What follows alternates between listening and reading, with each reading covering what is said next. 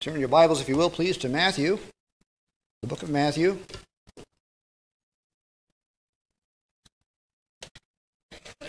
Chapter 1.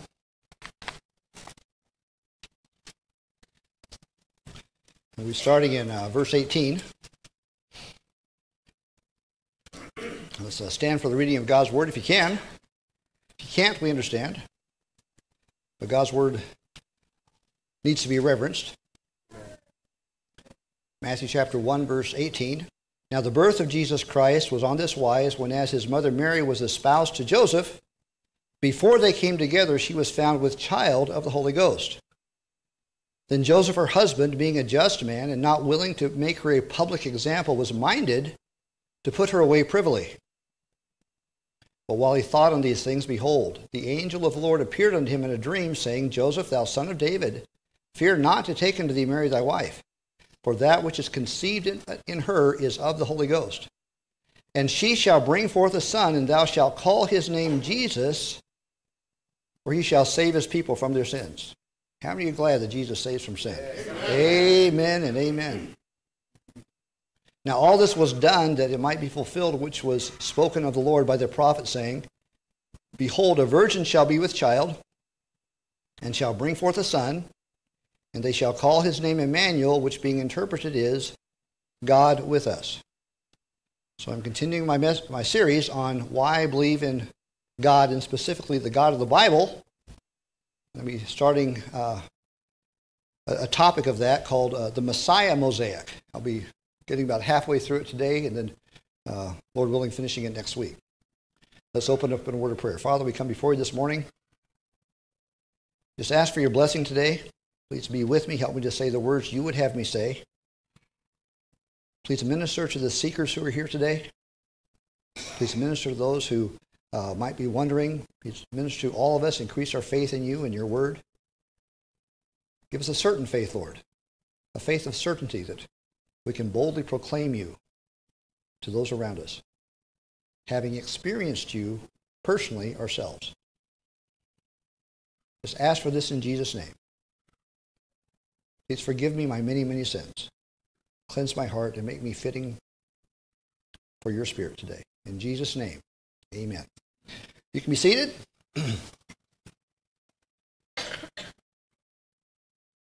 so I, I talked last week about a proposition.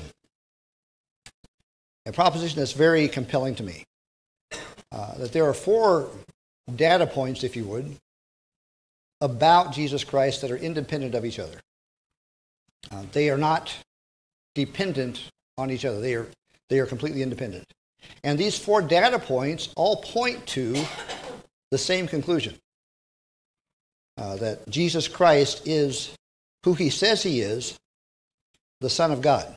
The first data point I talked about last week that Jesus Christ lived and died as the Gospels described, miracles and teaching included. Today I'll be teaching on uh, that someone very much like Jesus Christ had been promised in the Jewish scriptures. Uh, in some situations, for over a thousand years, some, some closer to his birth, but, but uh, uh, someone who looked very much like Jesus Christ. Jesus Christ physically died on a Roman cross. This is a third data point. And three days later was seen alive by credible eyewitness who, eyewitnesses who touched him who talked to him, who watched him eat solid food, who examined his wounds, and had seen that the, the, uh, the tomb itself was empty. And the fourth point is that the coming of the Holy Spirit at Pentecost was an actual event. And for 2,000 years, those who, ha- who repent of their sins and trust in Jesus alone as their personal Savior experience the salvation of not just forgiveness of sins, but a transformed life. Exactly like Jesus said the Holy Spirit was going to do when he came. Now, the proposition is this if these four data points about Jesus Christ can be shown to be true, then Jesus Christ was exactly who he said he was the Son of God. And I'm endeavoring to show that these four data points can be shown objectively that they are true. Last week I talked about the first one that Jesus Christ lived as the Gospels described, miracles included.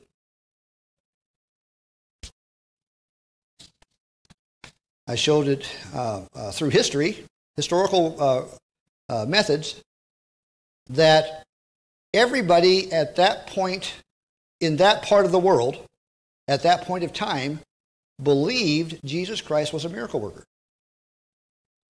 I, I, showed through writings of people from, uh, well, first of all, I showed that, uh, that the eyewitnesses who were the friends of Jesus his, in his churches believed he did miracles. Um, they accepted the Gospels as we have them today.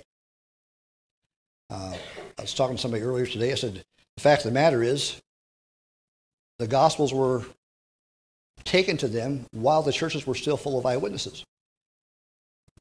And they accepted them as accurate biographies. And that's pretty important because what that means is that literally the only people in the history of man who knew the truth about Jesus Christ accepted them, the Gospels, as what actually happened.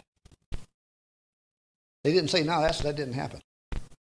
Um, I've used this illustration before, but what if I were to say that, uh, that Pastor Dan Leidig, the founder of Longview Bible Baptist Church, I come up here and say, you know, Pastor Dan Leidig, he wasn't just a pastor, he was a, he was a prophet. He was doing miracles. He was healing people here in the church. Well, first of all, you wouldn't just accept it. Say, yeah, I've never heard this before. This is weird stuff, man. Yeah. Secondly, you say, is there anybody around here who, around who was alive at that time? Or who was in this church at that time? And Bill Meeks is one. My wife is another. You ask them, is what your husband says is true? You say, absolutely not. Don't believe a word he says. But that's how it happened at the church. I mean, when the Gospels came, it wasn't new stuff. The eyewitnesses said, yeah, that's exactly the Jesus we remembered. So the friends of Jesus accepted the, uh, the miracles as that's what happened. The eyewitnesses who were neutral accepted the miracles. Josephus, the, the, the, neutral historian, he didn't really have an axe to grind with Jesus Christ. He said, yeah, he was a miracle worker. He did wondrous works. He used the same word uh, describing Jesus' works as he used to describe the miracles of Elijah when he wrote about Elijah. And finally, the eyewitnesses who hated Jesus believed he did miracles. Uh, uh, the enemies of Jesus who wrote about this, they, they admitted the miracles happened, they just tried to explain them away as being works of Satan. Now, the most difficult thing to believe in the Gospels are the miracles. How many would agree with that? That's the most difficult part.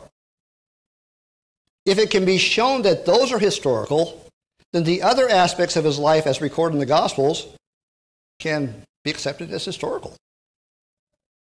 And from a purely historical perspective, we can say that Jesus Christ lived and died very much as the, the Gospels describe. Yeah, I believe that because the Bible's the Word of God. Yeah, right, okay, granted, I do too. but let's suppose, let's just set that aside for a second and just from a historical standpoint, yeah, he was a miracle worker. Uh, that's what everybody said. Uh, U.S. News and World Report was uh, was writing about the Jesus Seminar back, back a couple decades, and they recorded this in- interesting point that the Jesus Seminar made about Jesus Christ. And the Jesus Seminar was not a fundamentalist Christian organization; they're very loosely Christian. They're very skeptical Christians. Uh, they try to erase much of, of the New Testament. Their admission was this everybody back there believed Jesus did miracles. And we're not talking about Stone Age cave dwellers, these are sophisticated folk. We have to admit that the miracles happened. Not that, yeah, people believe they happened, but they happened. Whatever else they want to deny about Jesus, they had to admit that the miracles actually happened. So, from a purely historical perspective, we can say Jesus lived and died very much like the Gospels described. And I want to, for the purpose of this message and, and next week's, I want to give an overview of Jesus' life. Could you put that overview up there, Stu? so here's the overview. These are the high points of Jesus' ministry, of Jesus' life. He was born human, yet somehow was believed to be God. He was born of a virgin. He was born in Bethlehem. He came with a message from God. He was a miracle worker. He started his ministry around 30 AD. He died as a sacrifice for sins. He was believed to have been risen from the dead. And the news of him went viral around the world. So I'm going to hit these four points. These, I think, succinctly line up or, or, or uh, sum up the life of Jesus Christ. And I'm going to show that these points were definitively predicted in the Old Testament prophecies. The, the Old Testament wrote prophecies about a coming Savior.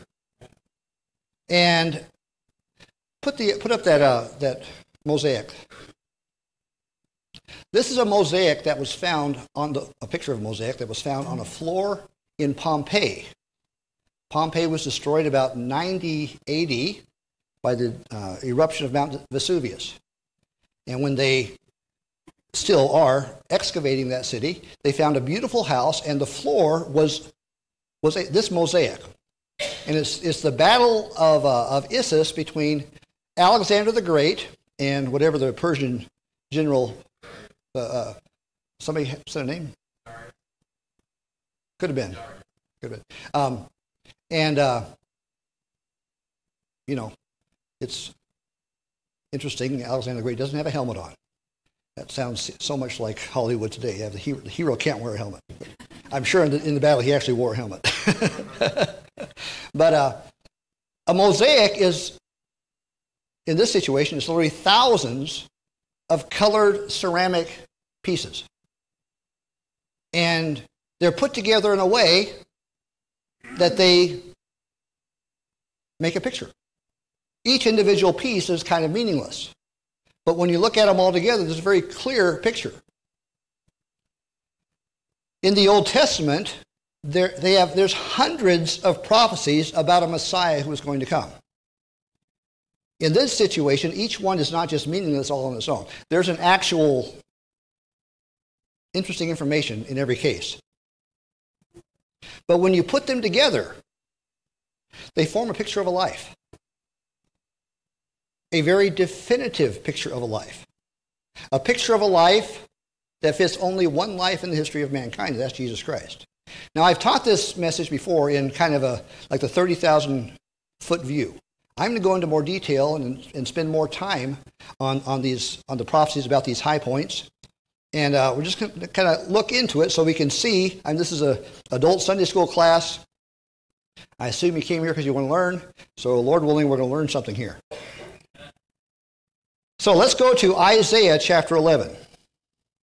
Oh, by the way, the Old Testament uh, was copied historically from the Hebrew to the Greek 150 years before Jesus Christ was born. Now, that's history. It's called the Septuagint. And uh, it's the Old Testament as we know it today. It's not like there was a, a bunch of new books written since. So, definitively, the Old Testament was, was, was, uh, was written before Jesus Christ uh, was born. In Isaiah chapter 11, this is a prophecy about the coming Savior. This one here is a prophecy about his return in power. Um, one thing about the Old Testament prophecies is, is they show two pictures of Jesus Christ. And the, uh, the, the, the, Jewish rabbis wondered about this because, on one hand, they would see Jesus, or they would see the Messiah, as a king who would come conquering and bring righteousness throughout the world. On the other time, they would see that he didn't come in the clouds, but that he was actually born, and he lived a suffering life, and he died. And they wondered about that. How, how can both pictures be true? Jesus explained it that they're both true, it's just two different time frames. He's going to come the first time, or he came the first time as a suffering servant. The second time he's coming as a conquering king and the judge. So this is, a, this is one of the prophecies about Messiah as a conquering king. Now, when you read a similar chapter um, in Zechariah chapter 12, it indicates that this Messiah is going to come from the skies and land on uh, uh, the Mount of Olives. So But this is, this is the, same, the same story, the same, the same Messiah. So let's look at uh, chapter 11, verse 1. And there shall come forth a rod out of the stem of Jesse, and a branch shall grow out of his roots. Uh, that's referring to, uh, he'll be out of the line of David. And the Spirit of the Lord shall rest upon him the Spirit of wisdom and understanding, the Spirit of counsel and might, the Spirit of knowledge and the fear of the Lord. And shall make him of quick understanding in the fear of the Lord. And he shall not judge after the sight of his eyes, neither reprove after the hearing of his ears. But with righteousness shall he judge the poor and reprove with equity uh, for the meek of the earth. And he shall smite the earth with the rod of his mouth, and with the breath of his lips shall he slay the wicked. And righteousness shall be the girdle of his loins, and faithfulness the girdle of his reins. The wolf also shall dwell with the lamb, and the leopard shall lie down with the kid, and the calf and the young lion and the fatling together, and a little child shall lead them. And the cow and the bear shall feed, their young ones shall lie down together, and the lion shall eat straw like the ox. And the sucking child shall play on the hole of the asp, and the weaned child shall put his hand on the cockatrice den. They shall not hurt nor destroy in all my holy mountain, for the earth shall be full of the knowledge of the Lord as the waters cover the sea. Talks about the reign of King Messiah. He's going to come, he's going to fix the problems of the earth. For some people, that's going to be a very wonderful thing. People who love righteousness, people who want the problems to be fixed. For others, that's going to be a very bad thing because they, they, like the, they like the problems. They make lots of money off the problems. And this Messiah is going to judge them. So, but he's going to come. He's going to be the king. He's going to reign out of Jerusalem. So that's this Messiah. He's going to be of the seed of David. He's going to be a, a, a descendant of David. That's this Messiah. Let's go back uh, three chapters. Chapter 9. In the same context, we start at verse 6. For unto us, Isaiah 9 6, for unto us a child is born, unto us a son is given, and the government shall be upon his shoulder, and his name shall be called Wonderful, Counselor, the Mighty God. Hold on. Whoa, whoa, whoa, whoa, whoa. We got a human being born of a woman who's going to be called the mighty God. Well, that's not normal. I mean, legitimately called the mighty God, not like some people just take the name, well, I'm God. No, this legitimately called the mighty God. The everlasting Father, the Prince of Peace. Let's keep reading. Of the increase of his government and peace there shall be no end.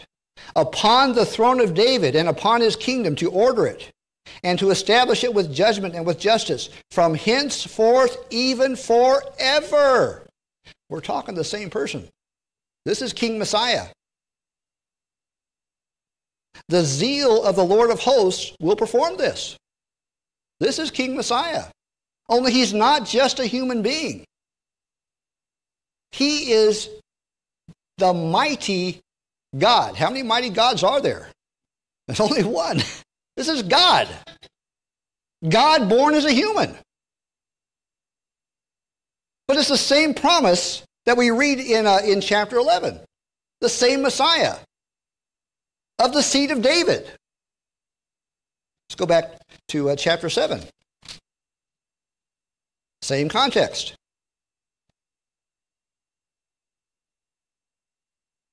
Therefore, the Lord himself shall give you a sign. Behold, a virgin shall conceive and bear a son, and shall call his name Emmanuel, God with us. Now, of all the uh, messianic prophecies, this is one of the ones that you get the most pushback on. And if you have questions on that, I'll be glad to answer them, but that does not fit today's purview for, for this message. But just understand that this, this, stands, this stands firm. A virgin is going to conceive. So let's get that list up there. Did you get the one with the check marks? Were you able to do that? Okay. Just like that. Thank you.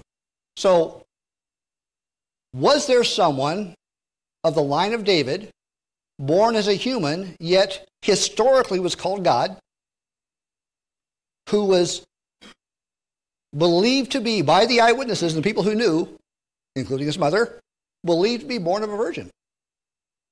Was there such a, is there such a story in, in the world today, historically? Oh, yeah, absolutely. It's in the Gospels. So that's the first, the first thing. Let's go on a little bit further.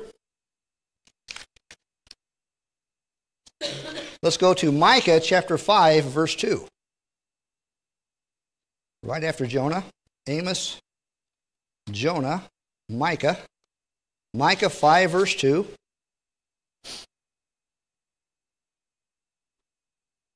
But thou, Bethlehem Ephratah, though thou be little among the thousands of Judah, yet out of thee shall he come forth unto me, that is to be ruler in Israel. Okay? But a specific ruler in Israel. One who has a very distinguished characteristic, whose goings forth have been from old, from everlasting. Same Messiah, who's going to be ruler in Israel and ruler of the world. But he wasn't just, he didn't start when he was born. He had existed eternity past. That's God. There's only one being who existed eternity past. That's God. It's the same, the same person described uh, in, in Isaiah chapter, chapter 9. Let's get that list back up there. So was there someone who was born human, according to the historical record, born human yet called God, who was born of a virgin, who was born in Bethlehem? Well, yeah, there was. Same story. Yet these passages were written literally hundreds of years before Jesus Christ was born. Let's go on. Go all the way back to Deuteronomy. This is Moses chapter, Deuteronomy chapter 18. This was written about 1,500 years, a little bit less than that, before Jesus Christ was born. Deuteronomy chapter 18, verse 18. Now start at verse 17. And the Lord said unto me, They have well spoken that which they have spoken. I will raise them up a prophet from among their brethren, like unto thee, and I will put my words in his mouth, and he shall speak unto them all that I shall command him. And it shall come to pass that whosoever will not hearken unto my words, which he shall speak in my name, I will require it of him. So, this was a promise about a coming prophet, one who had three specific descriptions. One, he would be a prophet like unto Moses. He would have a specific message from God. And he would be a prophet. Okay? So let's take a look at these real quick. First, before we do that, let's go to John chapter 1, verse 21. John 1 21. And we see that the, uh, the Jewish people expected this, this, this promise to be fulfilled. In John chapter 1, verse 21, uh, they came to uh, uh, John the Baptist and, and they asked him, What then? Art thou Elias? And he said, I am not. Art thou that prophet? And he said, No. They're referring to this passage. Are you that prophet that God said was going to come? Let's go to John chapter 6.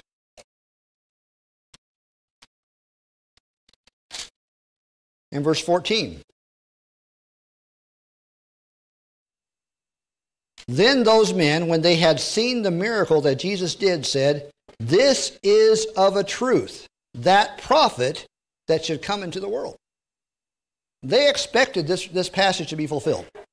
They were looking for a prophet who was one thing, first of all, a prophet. Secondly, he was like Moses. And three, he would come with a specific message from God. So, first of all, he would be a prophet. Uh, let's take a look real quick to Matthew chapter 11. Matthew chapter 11.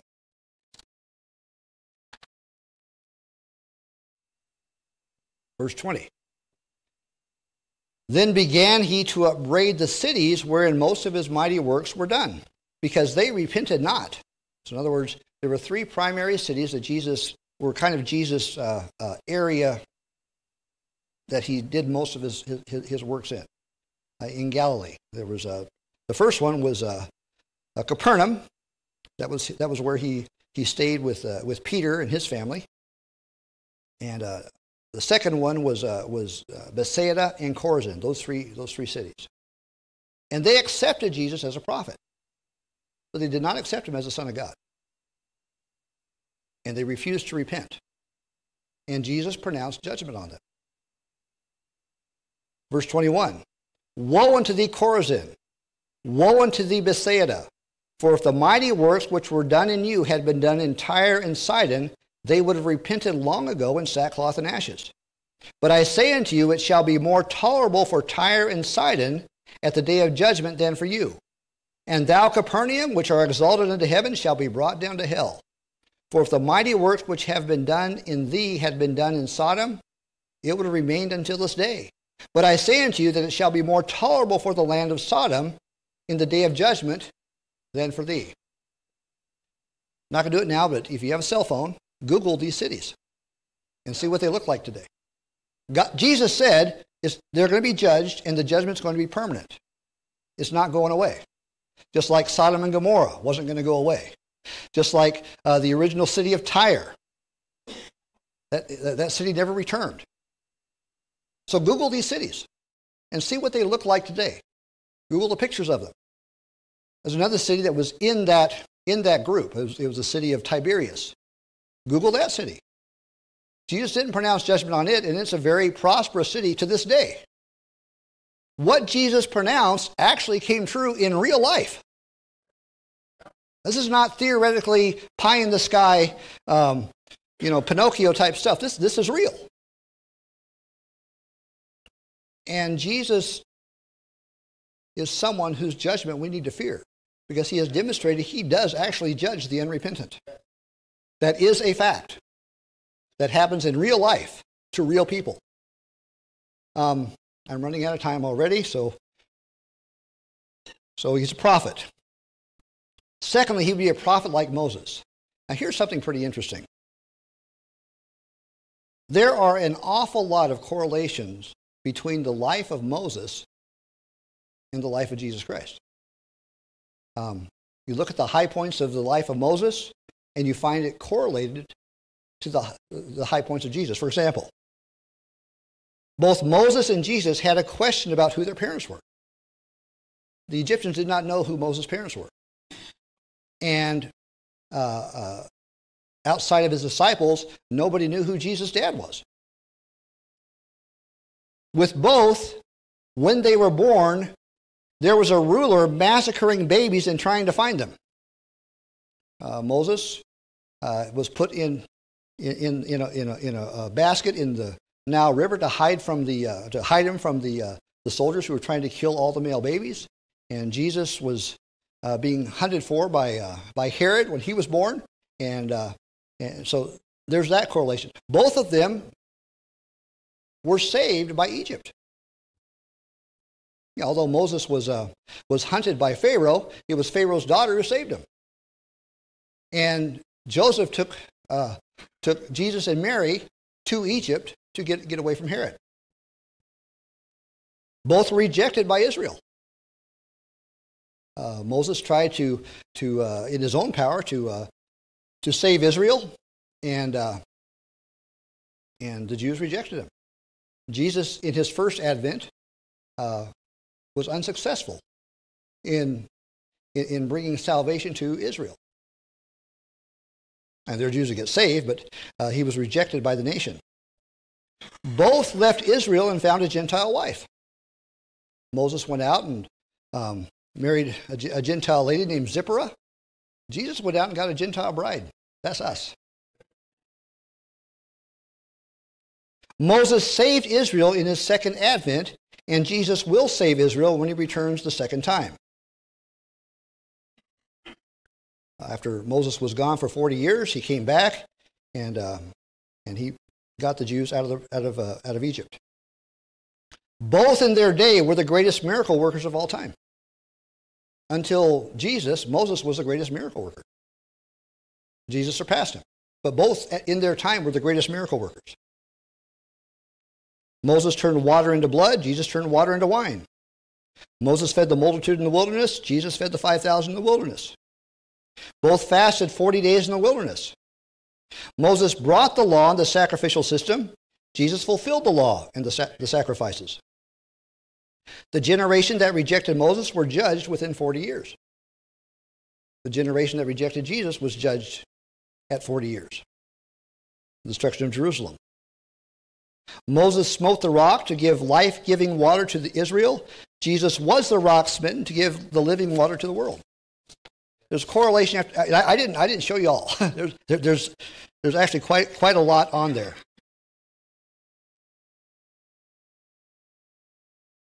So there was a correlation between the life of Moses and the life of Jesus. This prophet was to come with a specific message from God. A specific message from God. And here's where I want to end this, uh, in this lesson. Did the prophets describe this message that Messiah was going to bring? What was the specific message? The Bible says it was a specific message, which when you hear it, you need to respond to it. And if you don't respond to it, God's going to ask you why. He's going to judge you for not responding to it. It's a specific message. What is that message? Let's go to uh, Isaiah chapter 61. Isaiah chapter 61.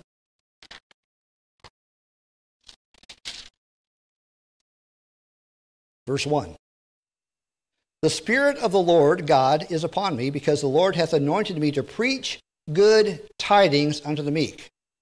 He hath sent me to bind up the brokenhearted, to proclaim liberty to the captives, and the opening of the prison to them that are blind, to proclaim the acceptable year of the Lord. Now, in the book of Luke, Jesus is going to announce his ministry right after his baptism. He's going to announce his ministry in his hometown of Nazareth. And he quotes this passage. And he ends right here at this phrase to proclaim the acceptable year of the Lord. The next phrase is, and the day of vengeance of our God. He didn't, he didn't say that. He stopped it just before that. And that's an indication of the two advents of Jesus Christ. The first advent is this specific message he's going to give. The second advent is if is he's going to judge those who don't accept that message. When Jesus proclaimed his ministry to Nazareth, he stopped at that point uh, to proclaim the acceptable, let's see, um, the acceptable year of the Lord. There's a time frame that we're all living in. It's the time frame of grace. We're in that, in that time frame. That's the acceptable year of the Lord. We need to accept the Lord during that time frame because we won't always be in this time frame. There will come a time of judgment if we reject this grace. Let's look at uh, Isaiah 42. We'll see it a little more clearly. I'm going to kind of go into some of the details. Isaiah 42. Starting at verse 1. Behold my servant, whom I, whom I uphold, mine elect, in whom my soul delighteth. I have put my spirit upon him. He shall bring forth judgment to the Gentiles. He shall not cry, nor lift up, nor cause his voice to be heard in the street. In other words, he's not, he, he's not violently trying to over, overthrow the, uh, uh, uh, the, the establishment there, not with violence. Verse 3 A bruised reed shall he not break, and the smoking flax shall he not quench. He shall bring forth judgment unto truth. What in the world is that? Okay, you got a plant that's growing, but it's damaged. Uh, something happened to it. Part of the side of that plant's caved in. It's trying to grow straight. It's having a hard time. It's kind of growing crookedly because it's damaged. And as soon as the first serious wind comes, that plant's going down and it's not coming back. It's a damaged plant. The Messiah doesn't just rip that plant up. The Messiah fixes the plant. A smoking flax shall he not quench. Have you ever tried to start a fire with, a, with, with damp tinder, like a, maybe paper that wasn't quite dry? It's, it's, it's frustrating. It smokes. There's some coals there, but you can't hardly get the thing, get a flame out of it. What do we do? Well, we put the fire out and we get some dry stuff put in there and start over again. Jesus doesn't do that. He's going to work with what he's got. He's going to make fire come out of that thing. You got that smoking piece of flax there. It's damp. It's things aren't working well. It, it wants to get a fire going. It wants to burn for God. It wants to, to, to be a light for the world, but it's messed up, man. Nothing's working right. Too many years in sin. Too many years doing things that are wrong. Too many bad habits. I can't quite get it together. The Messiah, when he comes, he's going to work with that and fix it. It may take a lifetime to do so. He don't stop. What is that? Buddy, that's the special message. That's grace. That's grace. A whole new message that had not been preached there. At that time frame, if you messed up, sorry, dude, it's all over for you. You can't get it right. Jesus said, I got a different message. Here's a message from God. You lived a life of sin. Your life's polluted by sin. You're pathetic. But I love you. I died on the cross for your sins. I rose from the dead. I'll wash those sins away. You can't have a relationship with God, a holy God, as you are. You blew it. You've sinned. The first time we sinned, we blew it. The first time we sinned, we, we're pathetic. We can't make it. For all have sinned and come short of the glory of God. We, we, we're, we're, we're stuck. But the Messiah was going to come and work with us stuck folk instead of just ripping us out and starting all over. Smoking flax, can't seem to get the fire going. I'll get that fire going. It may take a few years, but that fire is going to burn bright. It may take 10 years, but that fire is going to be glorifying to God. I ain't going to stop. In Philippians, Holy Spirit inspired the Apostle Paul to say, He that hath begun a good work in you will perform it unto the day of Jesus Christ. He don't stop. That was the ministry. Those were the words the Messiah was going to teach. It doesn't matter what sins you're addicted to. Jesus Christ isn't going to give up on you. He'll keep working with you. He'll keep working with you. He'll keep working with you till those sins are out of you. And eventually, He's going to raise you perfect, both in your record, your guilt is gone, and in your practice before God. That's the specific message. The Messiah is going to come with a new message, a specific message. He's going to be a prophet. He's going to be a prophet like Moses. He's going to come with a new message, a message of hope, a message of binding up the brokenhearted, a message of raising those of us who are spiritually dead, a message of bringing us salvation that ultimately brings us to perfection before God. That was the promise that the Messiah was going to do. Let's get that back up there. Let's take a look at our list. Has there been in the history of man someone who was seriously believed to be born human yet be God, born of a virgin, born in Bethlehem, came with a specific message from God? Yeah. It's the same story. Same story. But for those who are here, if anyone here is, is, is seeking, today's your day of grace. God's not angry with you. God is looking at you with love. He says, Yeah, you blew it. Yeah, you're pathetic. but I like pathetic folk. I can do an awful lot with pathetic folk. I can raise pathetic folk to glory. Just come to me. Believe in me. Trust in me, Jesus says.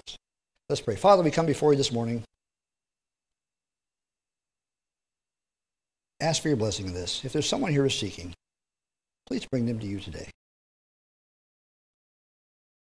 And help all of us to recognize entirely objectively, you are the truth. There is no one else like you. You are the Son of God. You are the Savior of the world. And help us to live that way and to put you above everything else, Lord. In Jesus' name I pray. Amen.